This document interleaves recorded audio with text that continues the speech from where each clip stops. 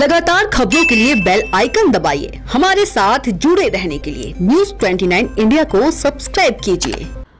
नमस्कार, स्वागत है आपका न्यूज़ 29 इंडिया में। मैं हूँ आपके साथ कविता पांडे।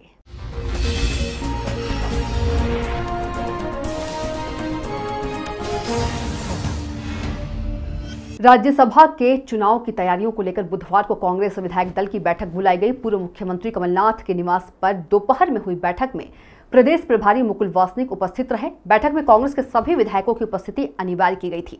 वही विधायक कुणाल चौधरी के कोरोना संक्रमित होने से वे इसमें भाग नहीं ले सके। कांग्रेस को विधानसभा में संख्या बल के हिसाब से एक सीट मिलना पक्का है, लेकिन उसकी निगाहें दूसरी सीट पर है। बैठक में मॉकपोल के ज़रिए विधायकों को वोट करने की जानकारी दी गई है। इसमें खास तौर पर प्रथम वरीयता में राज्यसभा के उम्मीदवार, पूर्व सीएम दिग्विजय सिंह का नाम रखा गया है। उन्हें कांग्रेस के कौन से बावन विधायक का वोट करेंगे, यह तय किया गया है। दूसरे उम्मीदवार फूल सिंह बराया को पहली वरीयता में डाले जाने वाले बावन विधायकों के बाद आगे के चालीस विधायक वोट करेंगे। हालाँकि दूसरी सीट के लिए कांग्रेस को मौजूदा विधायकों के अलावा बारह और विधायकों की ज़रूरत होगी, जो उसके पास नहीं है। कांग्रेस की निगाहें अभी भी चार निर्दलीय और दो बसपा और सपा के इकलौते विधायक की ओर है। Bureau report, news 29 India. जनता पार्टी को हमारी चिंता करने की आवश्यकता इसलिए नहीं है कि खुद अभी तो किसानों के साथ जितना अन्याय वो कर रही है उसमें जात नहीं आती है वर्ग आता है गरीबों के साथ मजदूरों के साथ कोविड के मरीजों के साथ। तो अपनी धोए कांग्रेस की चिंता न करें।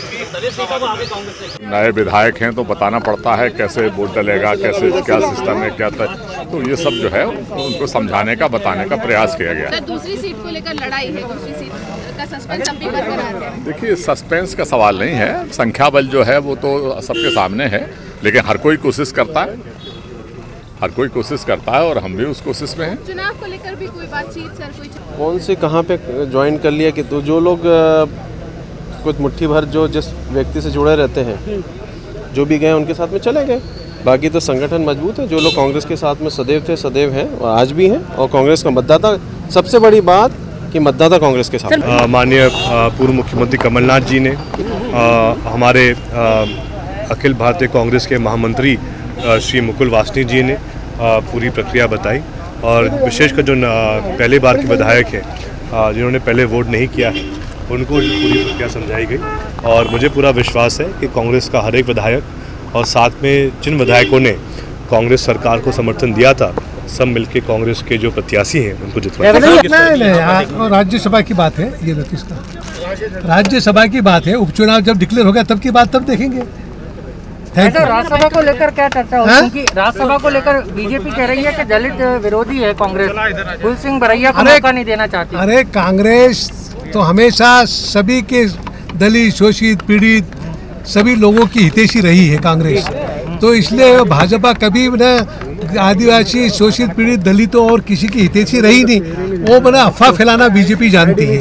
इसलिए कांग्रेस दलितों की बात है तो फुल सिंह बरिया जी को मैंने टिकट दी है कांग्रेस ने। और निश्चित ही हमारी कोशिश है कि हम दोनों सीट निकाल के लें दिग्विजय सिंह जी की और आप देखते रहिए न्यूज़ 29 इंडिया, एक देश, सारे प्रदेश।